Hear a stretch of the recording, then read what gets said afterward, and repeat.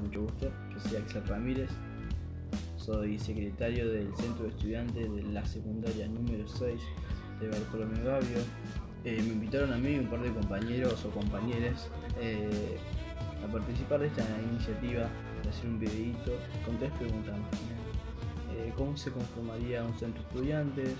¿Cuál sería la tarea que llevaría a cabo? ¿Y cuál es su, su importancia? un centro de estudiantes más que nada se conforma eh, por la iniciativa de un par de personas. O una sola persona también puede ser. Que esa persona eh, vaya, como dice uno, remándola y, y trayendo a, distintas personas a que se una a ese, nuevo proyecto. ¿no? Eh, pero más que nada sería por la iniciativa de un par de personas que quieran hacer un bien para la institución y quieran darle voz al, al alumnado, más que nada.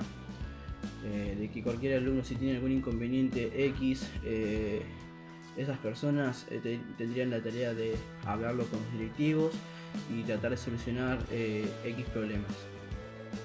Hola a todos, yo soy la presidenta del Centro de Estudiantes de la Escuela Media 6 y venimos a comentar lo que es un centro de estudiantes.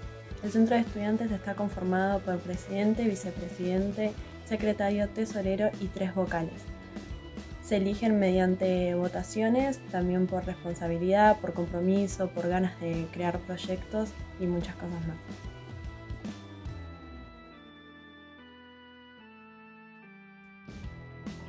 Nuestro centro estudiante entró en vigencia en el año 2013. Eh, tenemos eh, una comisión directiva que son los que se encargan de llamar a elecciones. Ellos eligen una fecha estipulada y bueno, eh, dan tiempo a que las personas o alumnos o alumnas eh, presenten sus listas para el día de la fecha que se llama elecciones eh, se pueda eh, llamar a sufragio. Sería el voto secreto. Un centro estudiante permite conocerse, compartir dudas y aconsejarse.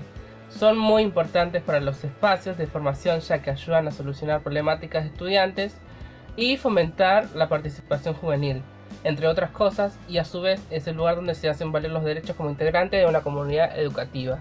Desde la Dirección Provincial de Educación Secundaria te acercamos una guía con todo lo que necesitas saber para conformar el centro de estudiantes en tu escuela.